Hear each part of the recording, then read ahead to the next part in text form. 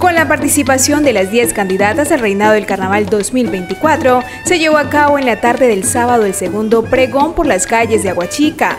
El recorrido carnavalero partió de la avenida Kennedy con carrera 39, convocando además de las reinas a sus comitivas y a quienes disfrutan de estas festividades año a año. La alegría y la belleza encabezaron el desfile en un vehículo que permitía apreciar a las soberanas en todo su esplendor. Es así como bailaron y gozaron de principio a fin estas hermosas jóvenes con los diferentes ritmos. El alcalde Víctor Roqueme se subió también al camión alegórico para participar del pregón y siempre con espuma y macena en mano.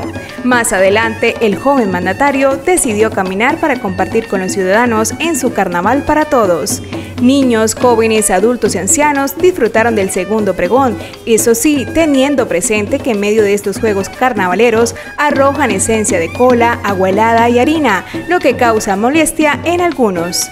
El recorrido terminó en el Polideportivo Las Ferias, dándole paso a la lectura del bando, abriendo oficialmente la temporada de precarnavales.